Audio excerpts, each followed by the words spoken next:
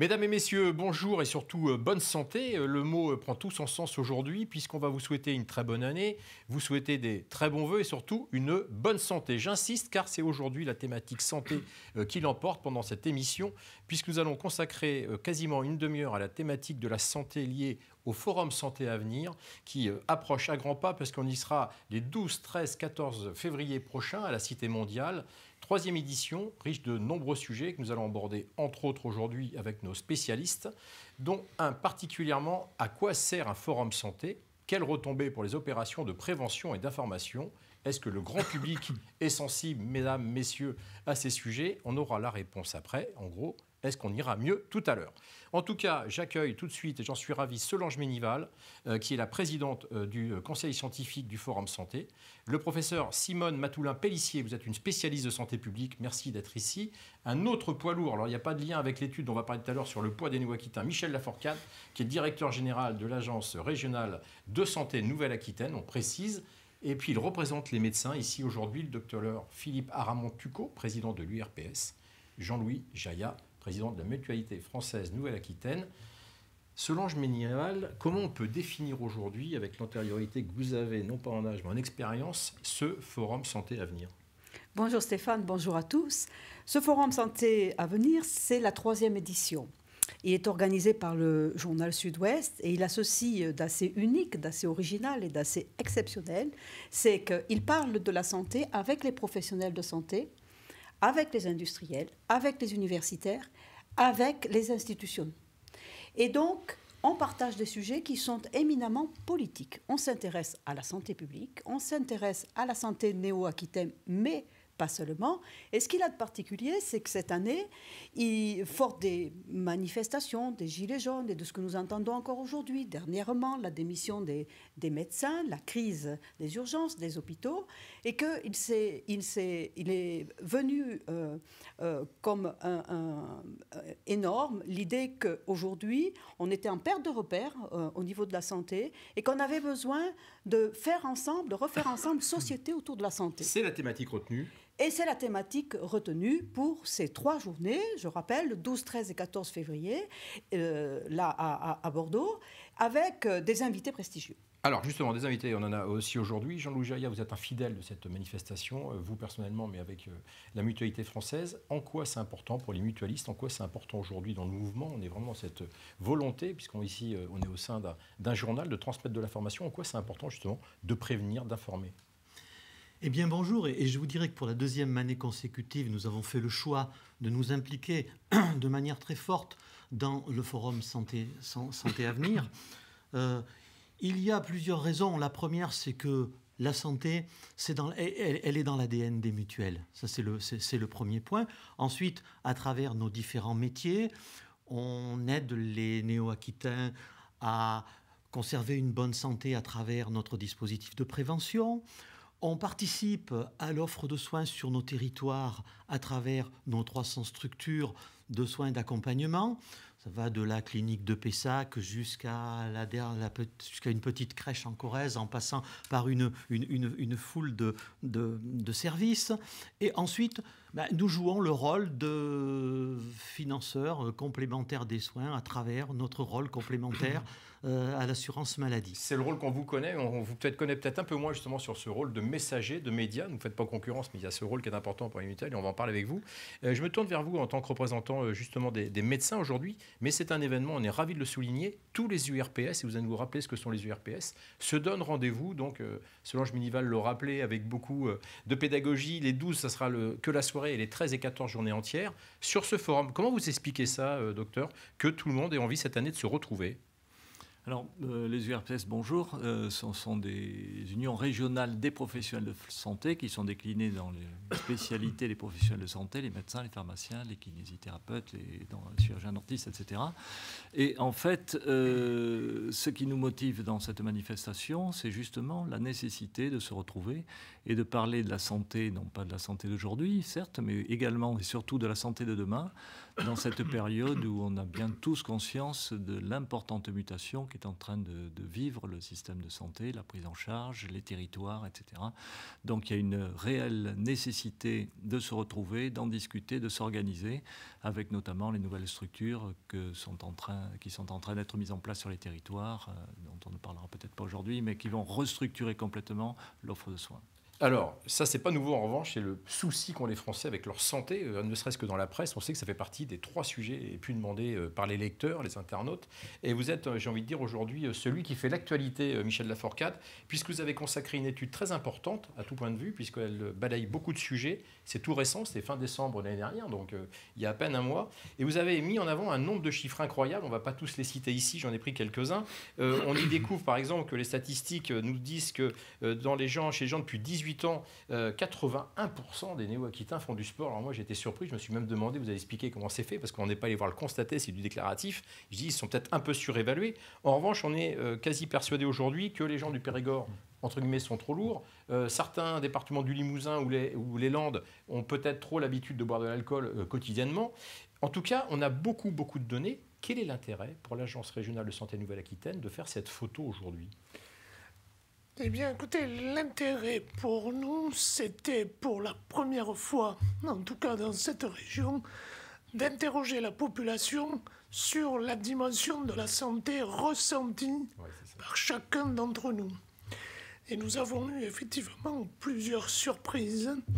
C'est aussi une façon d'être capable de sentir sur ce très vaste territoire de la Nouvelle-Aquitaine quelles sont les différences infrarégionales. Et là aussi, nous avons eu des résultats particulièrement intéressants. Je ne prendrai qu'un exemple sur euh, la population qui a eu des idées suicidaires au cours de l'année précédente. 7% de l'ensemble de la population est dans ce cas. Et des plus de 18 ans Des plus de 18 Non. tout confondu Tout confondu. D'accord.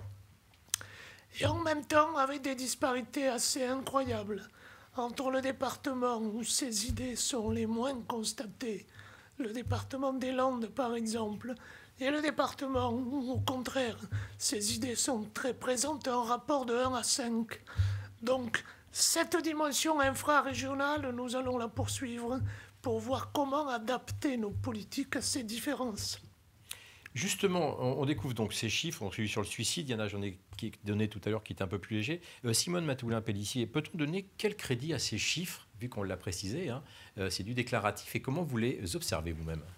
Alors euh, déjà, c'est bonjour, c'est une étude importante et une première étude. On avait peu de données, voire pas de données à cette échelle dans la nouvelle région Aquitaine, comme le dit Monsieur Lafourcade. C'est du quantitatif avec des pourcentages, avec une enquête qui a été très bien menée par l'Observatoire régional de santé, redressée euh, en fonction redressée, ça veut dire ajuster pour tenir compte de la différence entre les départements, avec un taux de réponse qui était assez bon pour ce type d'enquête. Donc euh, une partie des données est pour nous très riche. C'est du quantitatif, vous l'avez dit. C'est aussi de la perception. Est-ce que je me sens bien aujourd'hui? Euh, Voilà. C'est pas parce que c'est de la perception et qu'on n'a pas le, reflet réel que ce n'est pas euh, que le ressenti ne compte pas, notamment quand on est dans des messages de prévention. On va y revenir justement sur ce mot de prévention. Euh, justement, euh, je reviens vers vous, Michel Laforcade. Il y a les statistiques, et puis Philippe Armand en parlait, parlons de l'avenir. Et là, vous faites un pari, alors, pour le grand public, je pense représente un peu complètement dingue. Vous fixez ce que vous appelez des cibles, pour parler au grand public, on va dire des objectifs, et vous nous dites en gros euh, quand 10% de la population est en surpoids, il faut que dans 9 euh, ans, puisque c'est chiffré comme ça, on soit à 7%. Euh, comment vous fixez ces cibles ou ces objectifs et vous partez de quoi? C'est pour revenir vers des moyennes nationales? C'est pour aller vers des soins qui coûtent moins cher aux mutuelles demain et qui donnent moins de travail aux médecins? Comment vous les calculez? C'est une méthode déjà ancienne en termes de politique de santé publique. La plupart du temps, nous avons fort heureusement l'OMS qui, depuis des années, réfléchit à nos politiques autour de cette méthode-là. Donc nous sommes à peu près sûrs les chiffres qui sont proposés ne sont pas du tout fantaisistes.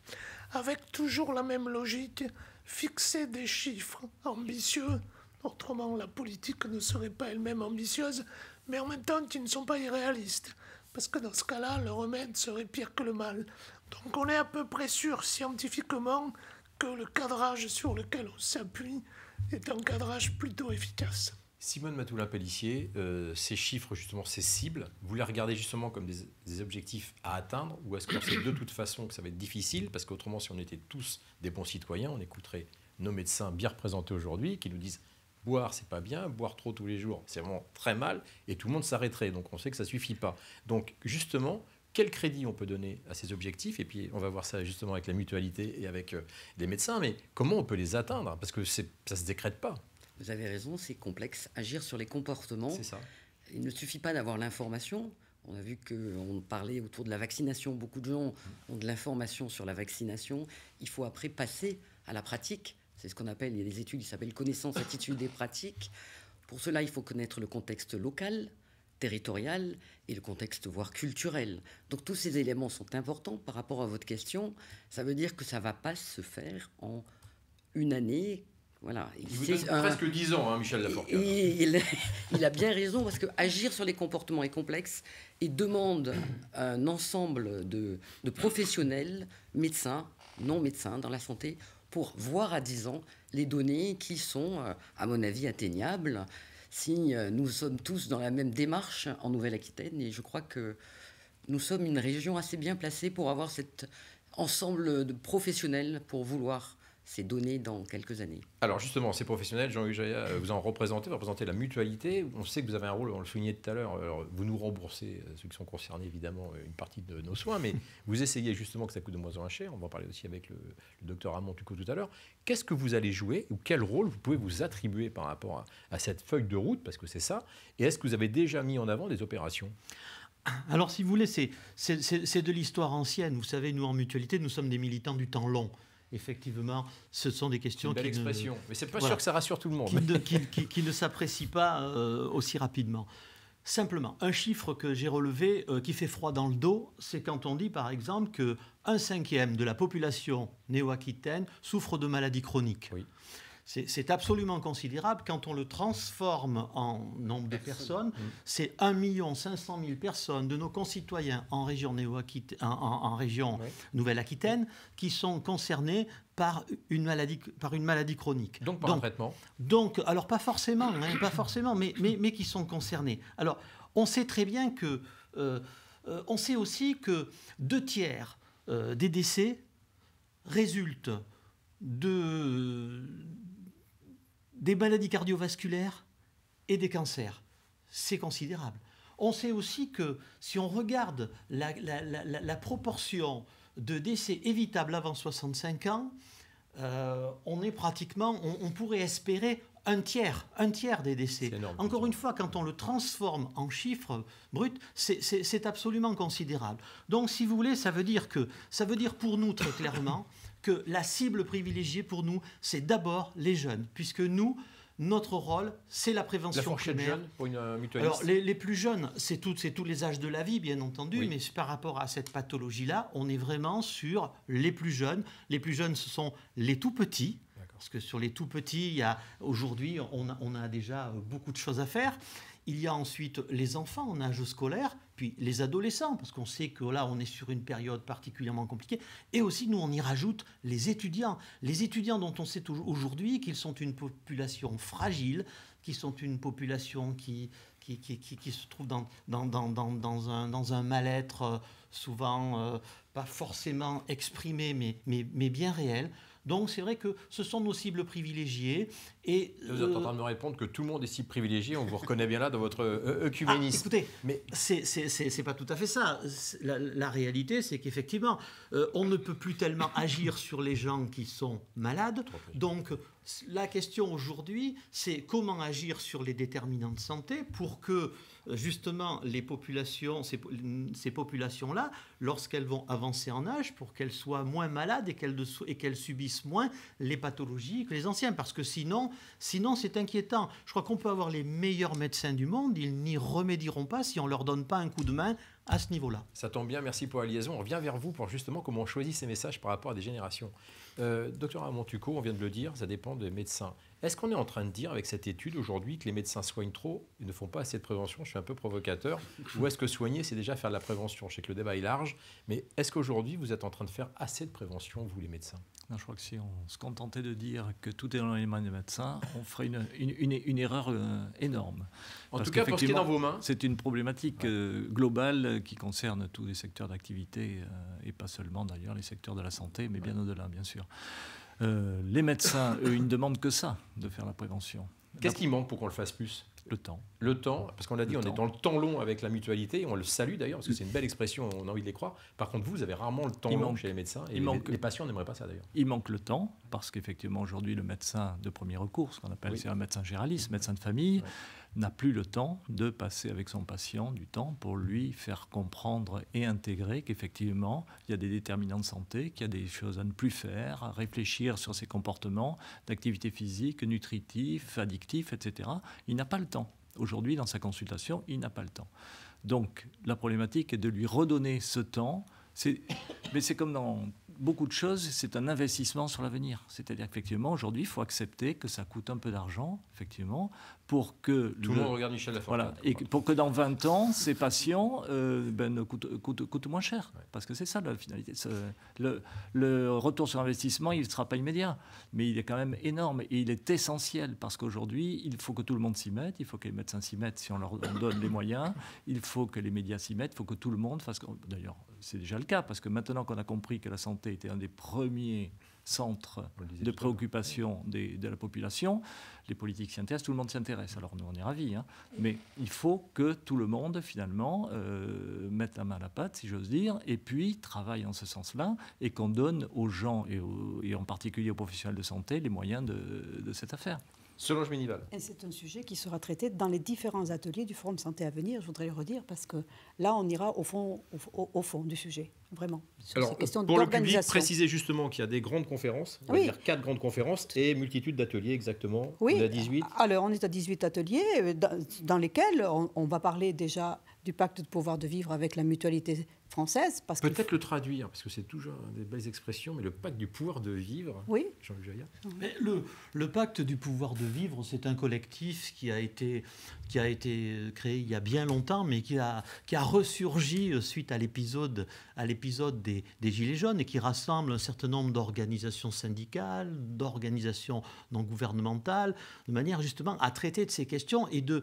Et, et de, et de en quoi ça concerne la santé ce qu'on En ce qui concerne la santé, parce qu'aujourd'hui, on est confronté à, quelque chose de nouveau, c'est le choc écologique.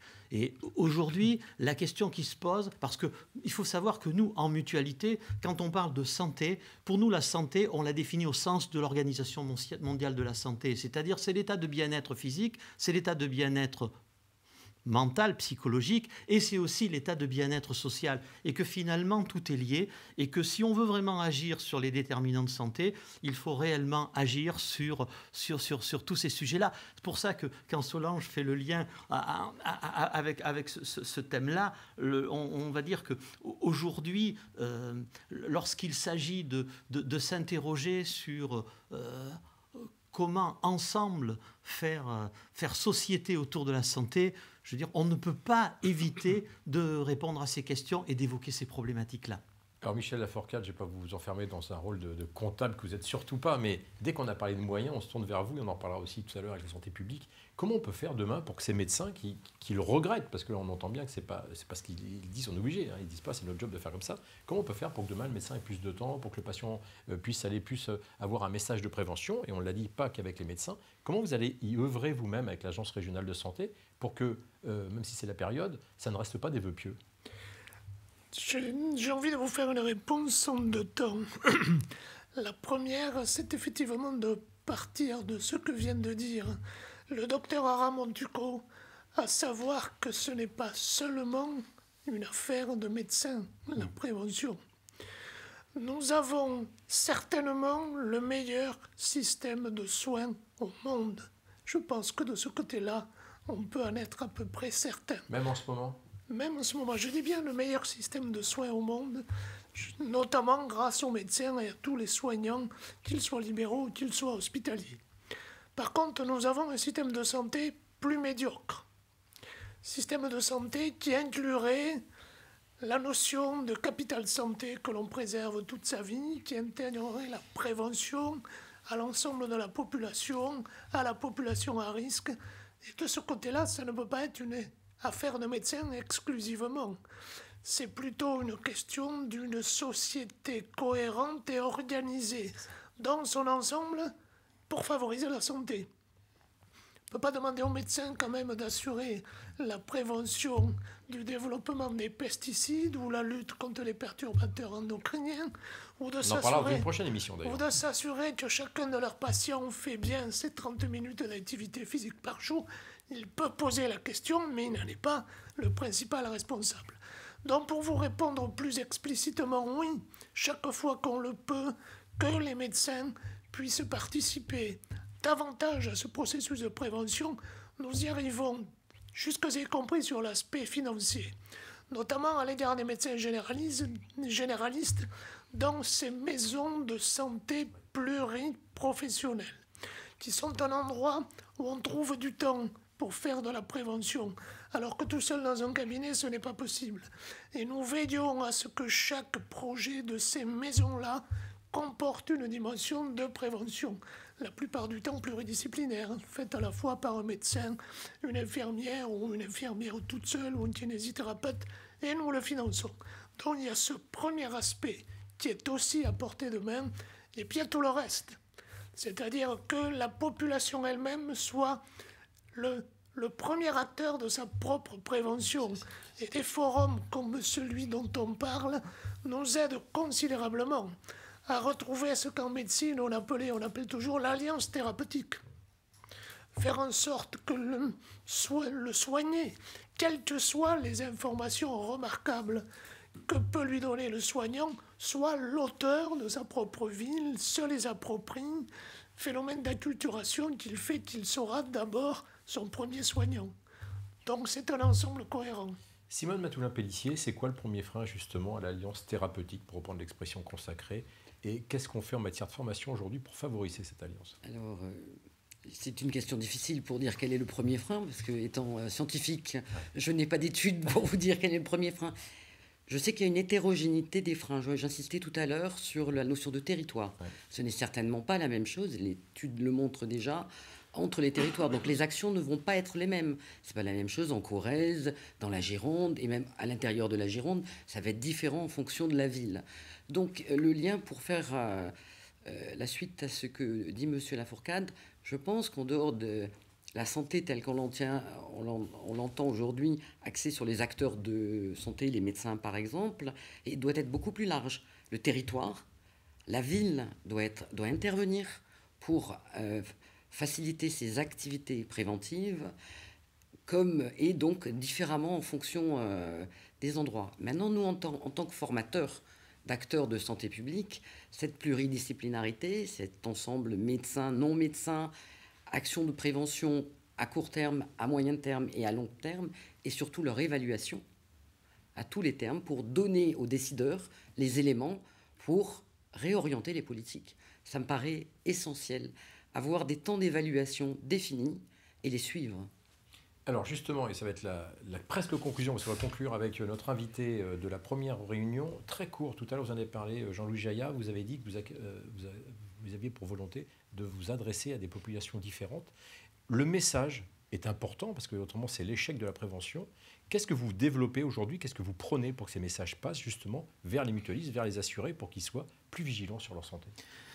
Je crois que il faut, il faut savoir que euh, j'ai l'honneur de représenter les vrais mutuelles. C'est-à-dire que quand adhérant, en adhérant à une vraie mutuelle, on, on, ne souscrit pas un contrat euh, simplement pour une solvabilisation des dépenses de santé, ça vous l'avez compris. Notre objectif, c'est bien de, de, jouer un rôle, un, un, un, rôle auprès des populations. Et ce rôle, on n'a pas la vocation de le jouer seul. Donc c'est la raison pour laquelle j'ai à côté de moi donc un partenaire essentiel pour nous qui est l'État à travers l'Agence régionale de santé, avec, avec qui on travaille de, manière très, très, très, on va dire, très étroite. Également, avec, avec les médecins, on a des, on a des, des, des, des échanges réguliers parce qu'on a besoin de s'appuyer avec ces gens-là. Je pense, si je prends par exemple le contrat local de santé de Bordeaux, contrat local de santé de Bordeaux, on, a rassemblé tous les acteurs pour justement être plus forts ensemble. Parce que comme j'ai l'habitude de le dire, en matière de prévention, un plus un ne font pas deux, mais, font, à cette alliance. mais font beaucoup plus. Donc je crois que l'idée aujourd'hui, nous, nous posons en acteur global de santé et nous disons, euh, il faut que tout le monde se, il faut qu'on, il faut qu'on travaille tous ensemble sur ces questions-là. Je pense que la, la réussite, elle est là. Et malgré, malgré cela, euh, j'ai la conviction qu'on n'y arrivera pas demain. Si on fait un calcul à courte vue en disant euh, je fais de la prévention auprès de telle personne parce que j'espère conserver le contrat, on fait fausse route. Donc je crois que ça, c'est quelque chose d'important qui nous différencie et euh, qui fait qu'aujourd'hui, oui, nous nous, nous disons clairement, nous avons besoin des autres partenaires, de l'ensemble des partenaires, des collectivités territoriales, de l'État, des médecins, sans, quoi je, pense qu'on on, va dans le mur. Et, je pense que, voilà, on a notre, euh, la, conviction que j'ai aujourd'hui, c'est que euh, tout ça est en train de se structurer, il y a des prises de conscience qui ont lieu, et je crois qu'on va dans le bon sens. Alors, on vous le souhaite, et on va faire très vite, parce que c'est l'heure de, de, conclure cette émission. Je voudrais juste qu'on dise un mot, on a 10 secondes. Pour parler de tout ça, il y a Barbara Stiegler, que, bien connue ici au monde universitaire, universitaire bordelaise. On en reparlera dans notre prochaine émission, Solange Ménival. En tout cas, on donne rendez-vous à nos téléspectateurs le 12 février à la Cité mondiale à Bordeaux. Ça sera à... Alors, une magnifique philosophe, il faut dire, qui va nous, nous, nous, parler de son dernier livre, Il faut s'adapter, et qui posera la thématique Quels enjeux pour la santé? À quoi devons-nous nous adapter? Très bien, ça sera un très bon sujet d'une prochaine émission. Merci euh, aux invités, merci à toutes, merci à tous. On vous donne rendez-vous euh, dans euh, cette émission qui aura une nouvelle édition rapidement. À très bientôt. Merci à tous.